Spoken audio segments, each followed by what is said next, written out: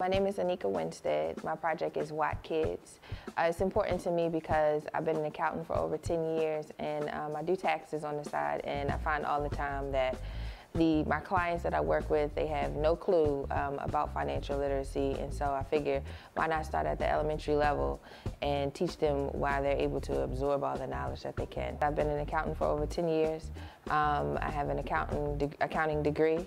Um, I've been working in various industries within accounting and um, I'm very passionate about financial literacy when it comes to the youth. Because my project will uh, go into different schools within the urban community, um, my hope is that it will impact the urban community in a way that we will be able to pull ourselves out of poverty um, with the tools that I will be giving them. The funds from the Warnock Foundation will help me to produce a workbook, a financial literacy workbook. The hashtag MyBmore is really versatile. It shows uh, more than what you may hear in the news um, at night. Um, it just shows you the different pockets of Baltimore that we have, the, um, the beauty in Baltimore.